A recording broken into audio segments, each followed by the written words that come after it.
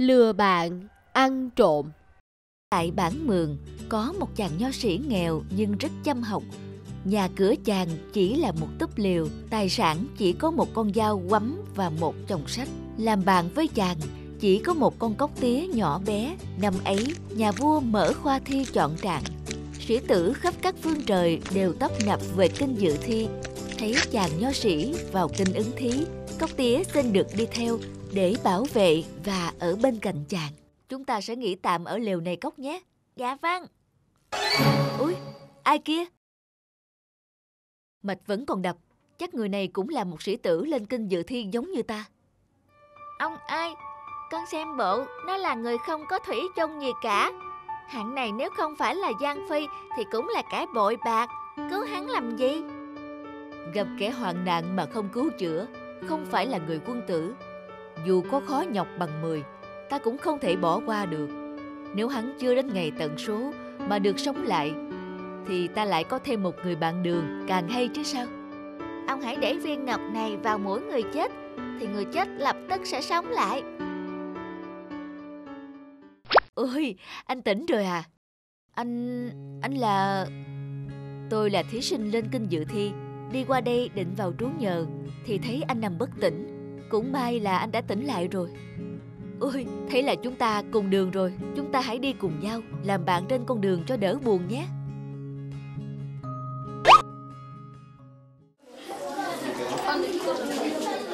Ôi, việc gì anh phải khách sáo mời tôi ăn ở quán sang trọng này chứ? Điều đó đâu sánh bằng việc anh đã cứu tôi đâu. Nhưng tôi có việc này thấy hơi lạ. Lạ ư? Hôm nọ, tôi đi đường xa bị cảm nặng. Các bạn đồng hành của tôi bỏ tôi nằm lại ở lều. Nếu không có anh ra tay cứu chữa, thì tôi đã hóa ra ma mất rồi. Công ơn của anh sau này tôi xin đền đáp. Không biết anh có thuốc linh đan hay phép thuật gì mà cứu sống được tôi vậy? Tôi có viên ngọc cải tử hoàng sinh này đây. Tôi chỉ cần đặt viên ngọc này vào mũi thì người chết dù tắt thở đã ba ngày cũng sống lại tức khắc. Thật vậy sao? Tôi có thể cầm nó xem một lát được không? À, được thôi. Ôi, nhỏ thế này mà có tài cải tử hoàng sinh ư?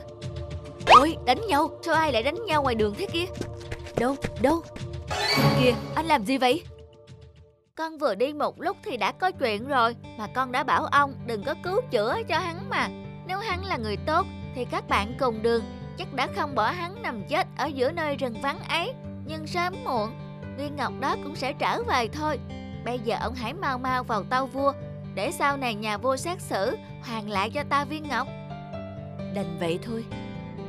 Nghe Cốc nói, chàng nho sĩ xin vào triều tâu với nhà vua và nói rõ đặc tính của viên ngọc cho vua nghe. Vua hứa là sẽ xét tìm hộ chàng viên ngọc và bắt phạt kẻ gian phi. Ôi con ơi, con tỉnh lại đi. Công chúa ơi, nàng tỉnh lại đi. Sao mới một đêm thôi mà con lại ra nông nổi này? Tỉnh lại đi con gái của ta. Hai... Bấm hoàng thượng, thân sức hèn tài mọn, không có cách gì để cứu chữa cho công chúa. Tất cả giờ chỉ trông vào duyên của công chúa với cõi đời này thôi ạ. À. Người đâu? Mau dán bản tìm danh y và thông báo khắp kinh thành ai cứu sống công chúa sẽ được tuyến làm phò mã. Tìm danh y cứu sống công chúa ư? Sẽ được tuyển làm phò mã ư? Hay lắm, đây là dịp tốt để ta lấy lại viên ngọc và tìm ra kẻ cắp. Và đây cũng là cơ hội hiếm có để ông làm nên. Sáng mai tên ăn cắp ngọc đội lớp thần danh y sẽ vào cung chữa bệnh cho công chúa. Ông hãy tìm cách xin vào, đi lẫn theo đám quan triều đình vào cung thăm công chúa. Khi nào thấy ai đem viên ngọc ra thì ông lập tức đến tàu vua xin cho bắt giam kẻ đó lại. Bấm hoàng sẽ tỉnh lại ngay thôi. Sao rồi hả? Sao mãi công chúa vẫn chưa tỉnh lại thế? Dạ, ờ, thần, thần... tâu bệ hạ, trước hết xin bệ hạ hãy cho bắt giam tên này lại. Hắn là danh y trộm và là một tên trộm. Người đâu? Bắt hắn lại cho ta. Ừ, thả tôi ra, thả tôi ra. Thưa hoàng thượng, đây là viên ngọc cải tử hoàng sinh và đây là cốc thần. Chỉ có cốc thần và tôi mới dùng được viên ngọc này để cứu sống người chết.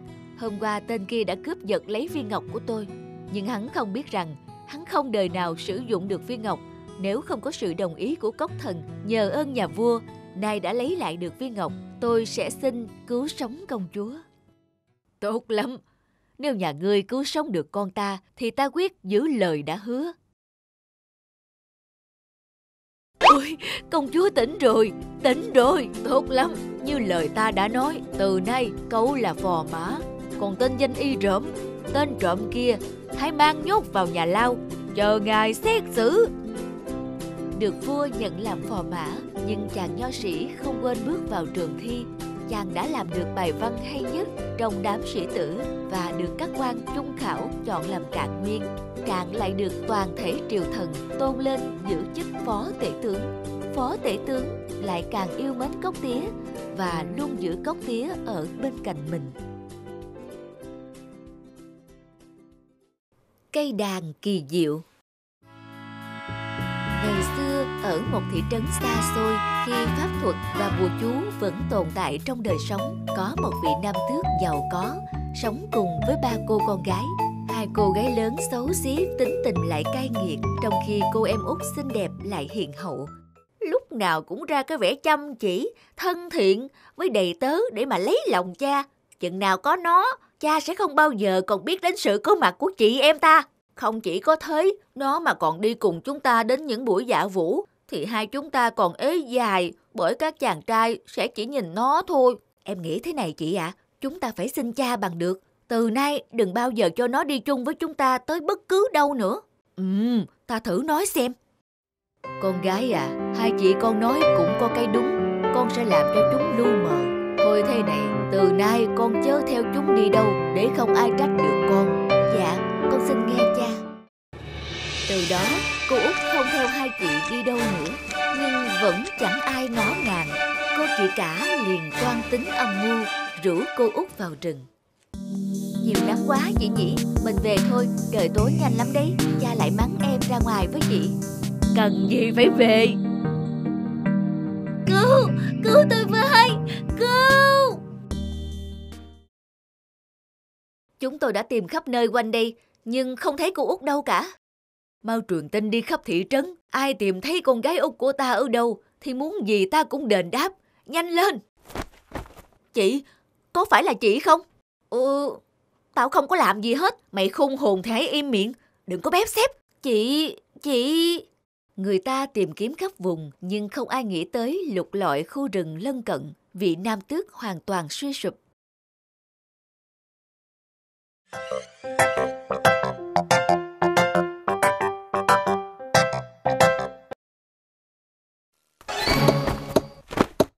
Trời ơi, mất đi cây đàn này thì ta còn đâu niềm vui sống nào nữa. Cầm đàn và kéo đi, kéo đàn và kể rằng một người tàn ác, răng dài, cầm nhọn đã giết tôi. Đàn của tôi đã rơi xuống đáy vực rồi, lấy gì mà kéo cơ chứ? Hãy cắt ngọn cây đổ tùng để làm cây vĩ cầm mới. Trời, có lẽ vì mình quá thương tiếc cây đàn đánh rơi nên đã nằm mộng.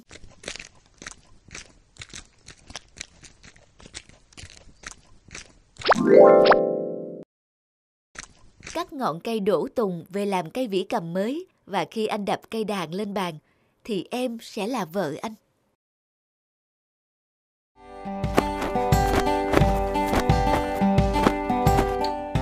Cầm đàn và kéo đi, kéo đàn và kể rằng một người tàn ác, răng dài, cầm nhọn đã giết tôi.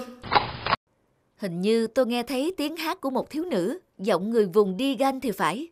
Tôi nghe không hiểu, nhưng tiếng hát ngọt ngào quá. Chính là cây đàn đã hát. Tôi là người đi gan đây, nhưng cũng thấy rất khó hiểu. Giọng hát như muốn tố cáo ai đó. Răng dài, cầm nhọn đã giết người. Cây đàn tự hát, răng dài, cầm nhọn. Cả vùng này chỉ có cô cả nhà ngài Nam Tước là có dung mạo như thế. Anh nên đi tìm ông kể về bài hát, ông sẽ hiểu vì vợ ông ấy là người vùng đi gan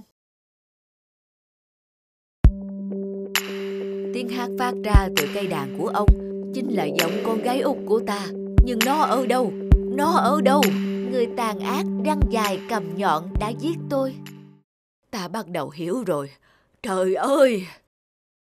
Chính ngươi đã hãm hại em gái út của ngươi. Ừ, không, con không biết gì hết những gì cha vừa nói là thật ư? Mày đã nói gì với cha phải không con ngốc kia? Đủ rồi, cả hai đứa bay hãy đi khuất mắt ta. Ta không có con cái ác độc như các người. Đi ngay!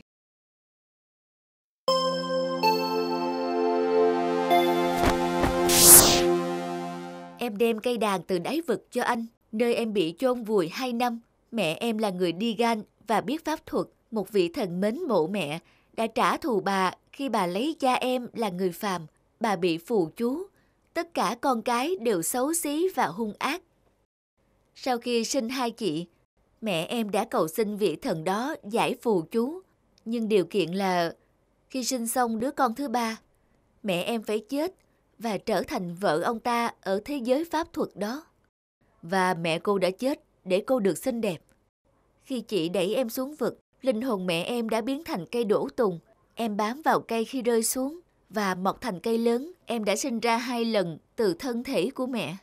Em chỉ có thể trở thành hình dạng con người nếu có người lấy gỗ cây tùng làm thành vật thân thiết. Con ơi, con gái của cha, cha đã nghe tất cả rồi. Con về với cha rồi, chị để con xuống vực. Nhưng anh La Vô đây đã giúp con lấy lại sự sống, con đã nguyện làm vợ anh ấy. Hãy đi ngay đi, đừng để ta nhìn thấy hai người thêm một lần nào nữa. Đừng cha, các chị con có tính nết như vậy cũng là do phù chú cả. Giờ bùa đã được phá, con cũng đã bình an trở về, con muốn cả nhà mình được đoàn viên. Cô Út sống hạnh phúc bên chồng mãi mãi. Chàng trai chăn cừu ngày nào trở nên nổi tiếng nhờ giọng hát của anh cùng với cây đàn kỳ diệu. Bà lão Osabu Ngày xưa ngày xưa, tại một vùng đất cổ xưa nghèo khó, người dân nơi đây chủ yếu sinh sống bằng nghề hái lượm, săn bắn. Trong ngôi làng đó, có một bà lão mù lòa hiền lành tên là Osabu. Bà sống cùng cháu gái mới lên 5 tuổi. Ngôi nhà của hai bà cháu ở sát ngay bìa rừng. Hàng ngày, bà Osabu và cháu gái đều vào rừng nhặt hạt dẻ, hạt kê và hái rau rừng ăn qua bữa. Cuộc sống của hai bà cháu tuy rất khó khăn, nhưng bà Osabu luôn cố gắng khiến cho cô cháu gái được vui vẻ, lạc quan. Một ngày nọ, có ba người thợ săn trẻ tuổi trong làng tìm đến nhà bà Osabu. Bà Osabu có nhà không? Tôi đây. Chúng tôi muốn đốt lửa và đào hố để săn ít thú rừng ở gần đây. Trưởng làng nói rằng khu vực này thuộc đất nhà bà, nên phải tới xin phép bà một tiếng. Săn thú ư, hai bà cháu tôi hàng ngày chỉ sống dựa vào hạt kê với rau rừng. Nếu các cậu đốt lửa, thì chúng tôi không thể hái được nữa. Chúng tôi sẽ chia cho bà thật nhiều thịt thú rừng là được chứ gì. Đúng vậy, cô bé con nhà bà đang tuổi ăn tuổi lớn, cứ cho nó ăn hạt mãi thì lớn thế nào được. Thôi được rồi, các cậu cứ làm đi, nhưng đừng đốt nhiều quá, kẻo cháy rừng đấy. Bà cứ yên tâm, chúng tôi đi đây.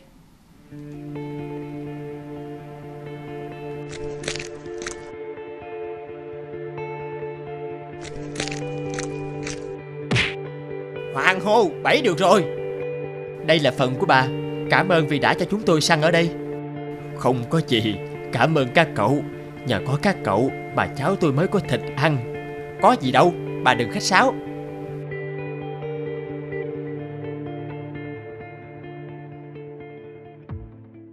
Bà ơi, mình bị lừa rồi. Chỉ có một miếng thịt bé bằng ngón tay thôi. Sao lại như thế?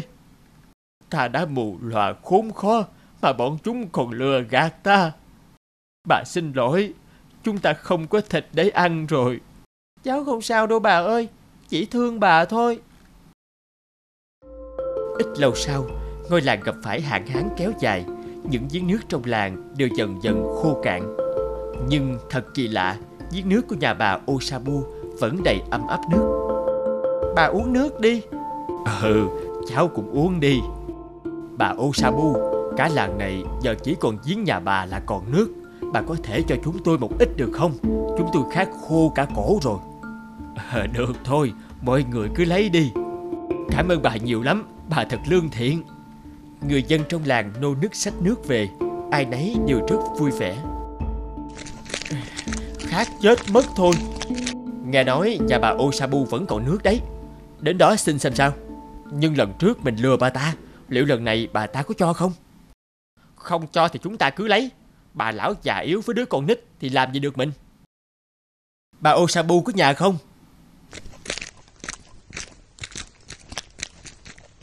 Lần trước các cậu lừa ta, mà lần này vẫn còn dám đến cầu xin ta sao? Chúng tôi xin bà cho có tiếng thôi, bà không cho thì chúng tôi sẽ tự lấy. Xin thần linh đừng để những kẻ ác tâm mãi tự tung tự tác, bắt nạt người yếu thế nữa. Đã quá, uống no cả bụng rồi. Ôi, sao thế này? Không thể đứng lên được, chuyện quái quỷ gì đang xảy ra? Chẳng lẽ lời cầu khẩn của ta đã linh ứng rồi sao? Đúng lúc đó, trời bỗng nhiên đổ mưa dữ dội, nước mưa nhanh chóng dâng cao.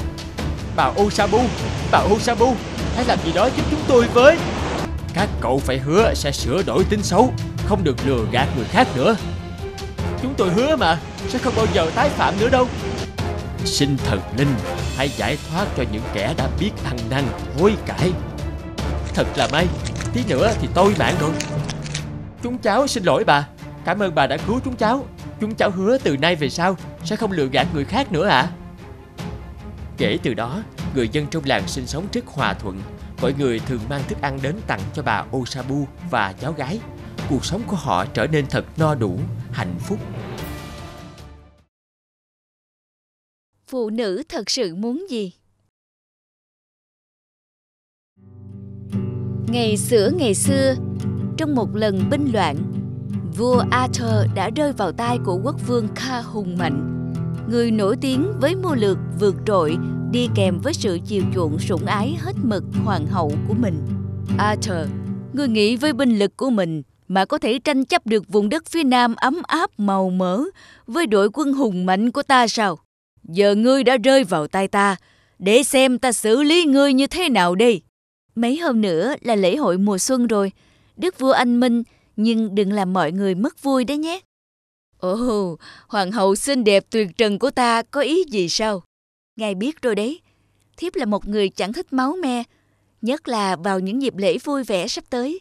Nàng nói cũng phải, sắp tới là ngày vui của cả vương quốc ta, và ta thì lại không thể làm tình yêu của ta phiền lòng được. Vậy nàng hãy thử đưa ra cách xử lý hắn xem sao. Đức vua kính mến, thần thiếp có một cách xử lý vô cùng thú vị, không biết ý ngài sao? Nể tình hoàng hậu của ta có tấm lòng nhân ái, ta sẽ cho ngươi một cơ hội. Ngươi sẽ có thời hạn một năm để tìm ra câu trả lời cho câu hỏi của hoàng hậu.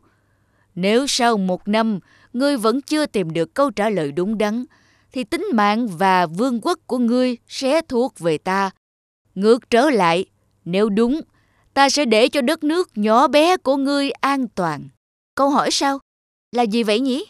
Ngươi hãy tìm câu trả lời đúng nhất cho câu hỏi, phụ nữ thật sự muốn gì? Phụ nữ thật sự muốn gì? Chỉ một câu hỏi như vậy thôi ư? Suốt một năm trời, đức vua arthur đã huy động cả vương quốc tìm ra câu trả lời đúng nhất, nhưng đều thất bại. Đức vua bèn trông cậy tất cả vào ga quèn.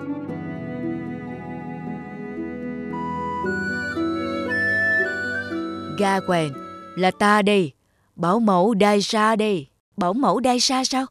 Đã lâu lắm rồi con không gặp người. Người vào đi ạ. À? Bảo mẫu của con. Những tưởng người đang nghỉ dưỡng ở quê nhà. Hôm nay người đến thăm con sao? Biết con đang vô cùng lo lắng cho đức vua, nên ta đến đây mong có thể giúp được con. Phải chăng bảo mẫu biết được câu trả lời cho câu hỏi của nhà vua? Câu trả lời thì đến ta, Sống đến lúc gần về đất rồi cũng chẳng biết được. Nhưng ta biết có một người có thể trả lời cho con. Là ai vậy? Là ai vậy? Đó chính là mụ phù thủy ở trong rừng sâu lâu năm. Mụ ta chắc chắn biết được câu trả lời. Nhưng cái giá của mụ luôn là rất cao. Sau một ngày lặn lội trong rừng sâu, Cuối cùng Gawain đã có thể tìm thấy ngôi nhà nơi mụ phù thủy xấu xí trú ngụ. Bà chính là mụ phù thủy thông thái sao? Người chính là vị tướng Gawain mưu trí hơn người. Sao bà biết ta? vị tướng nổi tiếng khắp vùng kinh kỳ này ai chẳng biết. Người đến đây có việc gì, mau nói đi. Tôi muốn tìm đáp án của một câu hỏi mà tôi biết ngoài bà ra chẳng ai có thể trả lời được. Đó là phụ nữ thật sự muốn gì? bà không biết câu trả lời sao? Sao lại cười như vậy? Dễ ợt. Nhưng hà cớ gì ta phải nói cho nhà ngươi biết? Ta nói rồi, ngươi sẽ cho ta được gì? Ta chẳng có nhiều tiền của. Vậy bà muốn đánh đổi điều gì? Nếu ta nói cho ngươi biết đáp án, ta muốn ngươi phải lấy ta làm vợ, tướng ga que nạ. Sao? Ngươi có dám trao đổi không? Lấy một mụ phù thủy già nua gớm ghiếc kia về làm vợ ư? Đó quả là một điều khủng khiếp nhất trên trần gian. Nhưng, nhưng thời hạn một năm sắp kết thúc. Nếu ta không đồng ý, thì tính mạng của nhà vua và vương quốc này sẽ lâm nguy. Ta, ta đâu thể bỏ mặt. Ngươi có dám không? Được rồi, ta đồng ý. Thật chứ, ngươi đồng ý lấy ta làm vợ. Đúng vậy.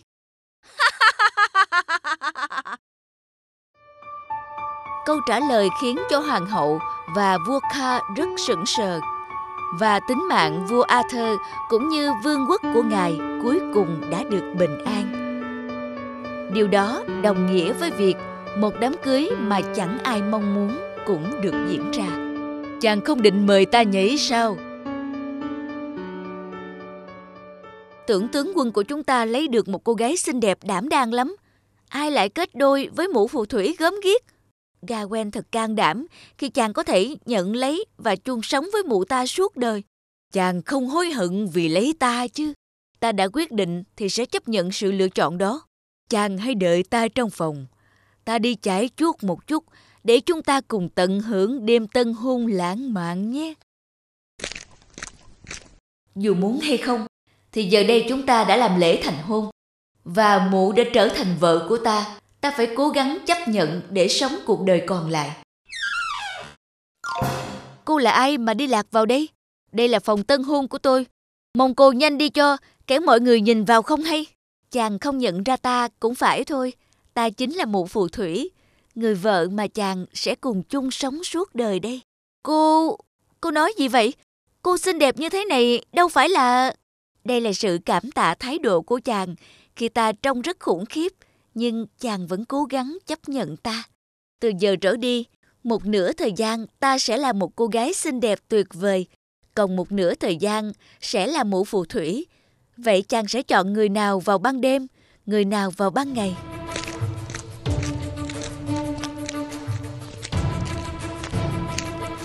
Ta thật sự không biết phải lựa chọn như thế nào.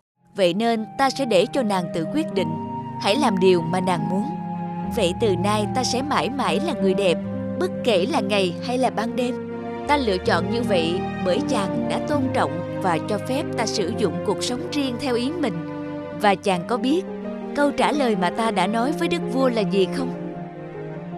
Điều mà tất cả phụ nữ đều thực sự muốn đó chính là được sử dụng cuộc sống riêng theo ý của mình và cảm ơn vì chàng đã làm điều đó với ta bất cứ người con gái nào cũng xứng đáng tự do lựa chọn cuộc sống và thực hiện hạnh phúc cho bản thân kể từ đó Gawain và mụ phù thủy chung sống hạnh phúc với nhau đến trọn đời tại vương quốc Arthur yên bình. Cá chép hóa rồng Thuở ban sơ, Ngọc Hoàng mới tạo ra đất trời chưa được bao lâu. Khi ấy, người là người ban mưa gió xuống trần gian. Ổn công chúng ta nghiến răng càng kẹt. Trời cho mưa xuống rồi.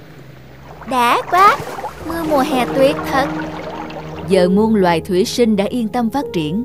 Tuy nhiên, trên núi, trong rừng, các loài còn chưa được phong phú, đúng không? Vâng, thưa Ngọc Hoàng, các loài trên núi còn thưa thớt lắm ạ. À? trong rừng cũng vậy. Được rồi, trên rừng dưới biển, vạn vật phải được hài hòa, nơi thiếu cần được ưu tiên bổ sung. Giờ nước đều đã ổn định, ta sẽ không trực tiếp làm mưa gió nữa. Nay ta ban cho rồng của thiên giới việc làm mưa xuống trần. Hãy truyền lệnh ta, xin tuân lệnh Ngọc Hoàng. Rồng từ đó thay Ngọc Hoàng làm mưa, nhưng số lượng rồng lại ít quá. Không đủ cho mưa đều khắp nơi, Chẳng bao lâu dưới trần gian xảy ra nạn hạn hán Cứ nắng nôi mãi thế này Mưa không về lấy một giọt Hạn hán thế này, loài thủy sinh chúng mình là chết đầu nước. Dạ, nạn hạn hán đang thực sự rất nghiêm trọng thưa Ngọc Hoàng. Số rồng của thiên giới hiện tại là bao nhiêu? Tâu Ngọc Hoàng, cả thảy là sáu ạ. À? Ta muốn chọn các loài thủy sinh lên làm rồng.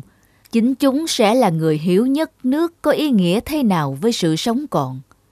Dạ, điều này thần e rằng khó có thể đoán định trong số các thủy sinh loài nào đủ khả năng để thành rồng. Ta sẽ tổ chức một cuộc thi nghiêm ngặt, chuẩn bị ban chiếu chỉ của ta xuống vua thủy tề, chủ trì tổ chức. Vâng, thưa Ngọc Hoàng anh Minh.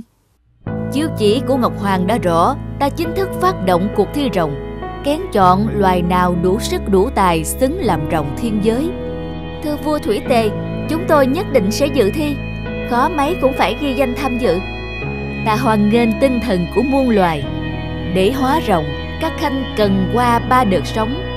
Vượt thác vũ môn được tạo nên bởi linh khí của trời đất. Loài cá lớn chúng ta nhất định sẽ làm nên chuyện.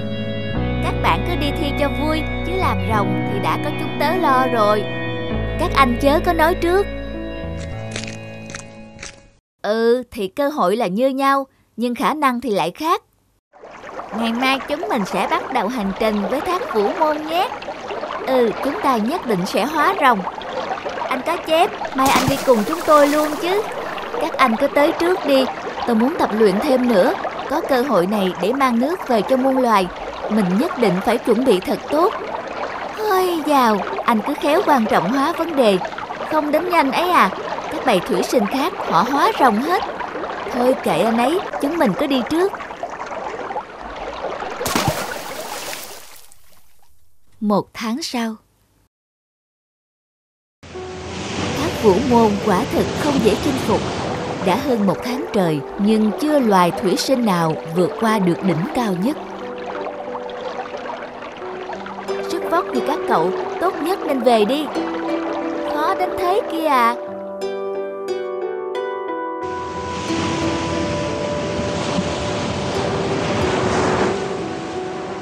Trời, tôi đã thử đến lần thứ năm rồi. Không ngờ thác lại cao đến thế. Sóng mạnh quá, tôi bơi còn không nổi đây này. Tôi phải nghỉ mấy ngày mới dám bơi về Chứ đừng nói gì nhảy lên đó. Đã vượt qua bao thác gần mới đến được đây còn chưa chinh phục mà các anh đã nản chí thế rồi hả?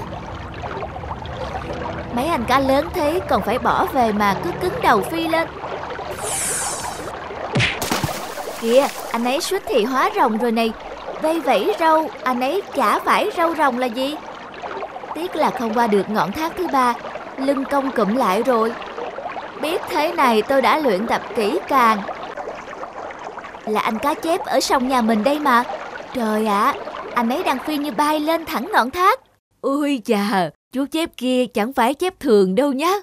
Phải năng rèn luyện thân thể lắm, bản chất lại quý hiếm đặc biệt, miệng ngậm ngọc trai kia kìa. Cá chép nhờ được sóng cao đưa lên, qua luôn một lần ba đợt sóng. Vượt vũ long môn, nhã ngọc hóa rồng. Anh cá chép hóa rồng rồi. Chúng ta chỉ biết xôn xao ùng đi thi thố, mà không ai chuẩn bị chu đáo cơ hội lần này coi như bỏ lỡ rồi.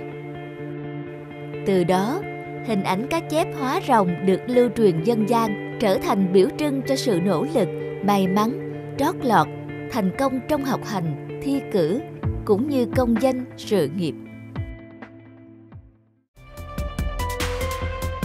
Hãy like, comment, subscribe kênh để xem thêm những video mới nhất nhé!